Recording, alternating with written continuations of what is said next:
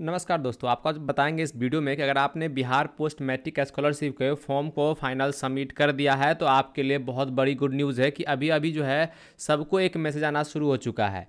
बहुत लोग बहुत दिनों से मुझे बार बार कमेंट कर रहे थे कि, सर, हमने फॉर्म को जो है सबमिट कर दिया है, लेकिन मुझे मुझे जो है, इंस्टीट्यूट लेवल से या फिर किसी अन्य लेवल से जो है, वेरीफिकेशन नहीं हो पा रहा, यानी कि अप्रूव नहीं हो पा रहा है। मैं आप लोगों को बता दूँ कि अब सबका जो है आवेदन वेरीफाई होना शुरू हो चुका है और सबको जो है मैसेज आना शुरू हो चुका है। वो मैसेज किस प्रकार का है, किस तरह का दिखता है, वो संपूर्ण जानकारी देंगे, लेकिन देने से पहले अगर आप हमारे चैनल पर आ, पहली बार आए हैं चैनल को लाल बटन दबा कर सब्सक्राइब कर लीजिएगा। साथ में बैलन को प्रेस कर लीजिएगा इस तरह की अपडेट पाने के लिए। ये पूरा वीडियो का जो क्रेडिट है, वो जाता है राज नारायण को, क्योंकि उनके द्वारा ही मुझे जानकारी मिली, तभी मैं इस वीडियो को बना पा रहा हूँ। मैं आपको बता दूँ कि यह जानकारी बहुत ही इंपॉर्टेंट था, क्योंकि बहुत लोग बहुत दिनों से बता रहे थे कि उनका जो है इंस्टीट्यूट वेरिफिकेशन में पेंडिंग बता रहा है और जो है उनका आवेदन आगे नहीं बढ़ रहा है। तो उन लोगों के लिए गुड न्यूज़ है कि उन लोगों का जो है अप्रूवल मिलना शुरू हो चुका है। क्या, कैसे, आइए जानकारी देते हैं, लेकिन देने से पहले आपको चीज़ क्लियर कर दें कि अगर आप भी किसी भी तरह का आप जो है जानकारी आप हमारे माध्यम या हम तक साझा करना चाहते हैं तो आप हमारे इस व्हाट्सअप नंबर के ज़रिए साझा कर सकते हैं।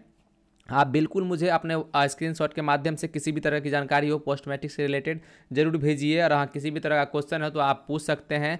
आप अगर अपना यूज़र आईडी पासवर्ड या किसी भी तरह की जानकारी मुझे देते हैं तो वो गुप्त रखी जाएगी, किसी के साथ साझा नहीं की जाएगी और कोशिश करेंगे कि आपका जो पर्सनल डिटेल है वो शेयर ना हो। अदरवाइज़ कोशिश करेंगे ये कि जो है आपके पास जो अपडेट आए वो दूसरे के पास भी पहुँचना चाहिए। जिस तरह से भी राज नारायण जी ने हमें अपना साझा किया डिटेल ताकि मैं सबको बता बता रहा हूँ इस वीडियो में कि जो है सबको मैसेज आ रहा है। वो किस प्रकार का मैसेज आइए उसको भी जान लेते हैं। देखिए, इस प्रकार का मैसेज आना सबको शुरू हो चुका है और ये मैसेज जो है ये जो है मैसेज कल का है, जो कि कल आया है इनको और वो उन्होंने क्लियर बताया है कि देखिए सर, जो इस तरह का मैसेज आ रहा है, जहाँ क्लियरली लिखा हुआ है डियर योर यहाँ पे यूज़र योर एप्लीकेशन नंबर इतना is has been accepted at institute level post matric scholarship Bihar government.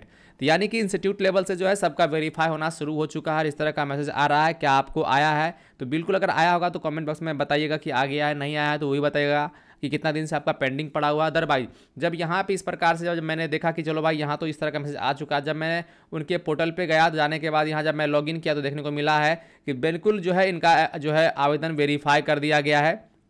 ये बिल्कुल उन्हीं का है जिनका नाम मैंने आपको बताया। तो इनका जो है आवेदन भी वेरीफाई कर दिया गया है। अब रही बात, जिन लोगों का अभी तक ये मैसेज नहीं आया है, फिर या फिर जिन लोगों का अभी तक अप्रूवल नहीं मिला है पेंडिंग ही बता रहा है तो वो लोग अपने डैशबोर्ड में लॉगिन होकर जो है यहाँ से नोडल ऑफिसर का, अपने अपने कॉलेज का जो है नोडल ऑफिसर का नंबर नाम से जो है उनको कॉल करें कॉन्टैक्ट करें और उन सर से पूछें। हाँ एक चीज़ और, अगर आपने फॉर्म को फाइनल सबमिट कर दिया है तो हार्ड कॉपी यानी कि जो भी डॉक्यूमेंट है, दस्तावेज़ हैं, वो सभी जाकर अपने कॉलेज में जाके जमा कर ही दीजिएगा।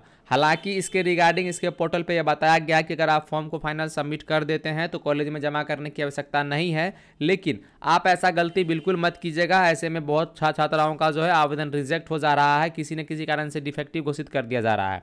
तो ये गलती आप ना करेंगे, अगर आप फॉर्म को फाइनल सबमिट कर दिए हैं, जो भी आपके जो दस्तावेज़ हैं, उसको हार्ड कॉपी का प्रिंट आउट ले लेंगे हर एक चीज़ का, और जाके अपने कॉलेज अपने इंस्टीट्यूट में जाके जमा करें, ताकि आपका जल्द से जल्द वेरिफिकेशन हो पाए। और एक मैं आपको क्लियर कर दूँ, आप जो है, यहाँ से भी नोडल ऑफिसर का नाम जो वेरीफाई करेंगे, वो उनका नंबर और डिटेल यहाँ से मिल जाएगा। तो यहाँ से भी निकाल के आप वेरीफाई कर सकते हैं। अदरवाइज़ मैंने आपको क्लियरली बता दिया कि जो है, मैसेज आना शुरू हो चुका है इस प्रकार का। उम्मीद करते हैं आपको भी आ गया होगा, नहीं आया है तो वेट कर लीजिए। और हाँ आपने हार्ड कॉपी जमा नहीं किया तो बिल्कुल जमा कर ही दीजिएगा। अदरवाइज़ किसी भी तरह की क्वेश्चन है, किसी भी तरह की जानकारी आप हमें हमारे तक देना चाहते हैं या हमसे पूछना चाहते हैं तो हमारे इस व्हाट्सअप नंबर के ज़रिए पूछ सकते हैं। और आपको मैं बता दूँ, ये वीडियो का क्रेडिट कुल मिला के जो है राजनारायण को जाता है, क्योंकि वो मुझे बार बार बता रहे थे कि, सर, जो है इस तरह का अपडेट आ रहा है। तो उम्मीद करते हैं, और हाँ इन्होंने सबमिट किया और कल जाके अपने कॉलेज अपने इंस्टीट्यूट में जाकर डॉक्यूमेंट जमा किया तो उन्होंने उनका जो है, एक दिन के बाद ही उनका अप्रूवल इस तरह का जो उनको मैसेज आ चुका था, जैसा कि मैंने आपको दिखाया। तो अगर आपको अभी तक मैसेज नहीं आया है तो आप जाके हार्ड कॉपी जाके जमा करें। हाँ और बहुत ऐसे छात्र छात्राएँ हैं कि जिन्होंने कमेंट किया, जिन्होंने बताया कि मैं अपने कॉलेज गया तो वहाँ के जो नोडल ऑफिसर हैं, जो कि डैशबोर्ड पे शो कर रहा है तो उनका कहना है कि अभी तक जो है, हमें वेरिफिकेशन का जो है किसी भी तरह किट नहीं मिला है और वेरिफिकेशन का मुझे ऑप्शन नहीं मिला है वेरीफाई करने का, यानी अप्रूवल देने का। तो वैसे छात्र छात्राएँ वेट कर लें, क्योंकि जब तक उनको अप्रूवल का किट नहीं मिलता है, यानी कि यूज़र आईडी पासवर्ड उनको भी जैसे जिस तरह से आप रजिस्ट्रेशन करते हैं, आपको यूज़र आईडी पासवर्ड मिलता है, उसके बाद आप फॉर्म सबमिट कर पाते हैं सेम प्रक्रिया इंस्टीट्यूट वाले को भी है। तो आप वेट कर लीजिए, आपको कर दिया जाएगा। हाँ लेकिन आप प्रेशर बनाए रखिए अपने कॉलेज अपने इंस्टीट्यूट या फिर अपने नोडल ऑफिसर पर ताकि वो जल्द से जल्द आपके आवेदन को वेरीफाई कर पाएँ। उम्मीद करते हैं अब हमारा यह सटीक जानकारी आपको काफ़ी हेल्पफुल रहा होगा इस तरह की अपडेट इस तरह की जानकारी पाने के लिए बने रहिएगा। मिलते हैं अगले वीडियो में, तब तक के लिए धन्यवाद।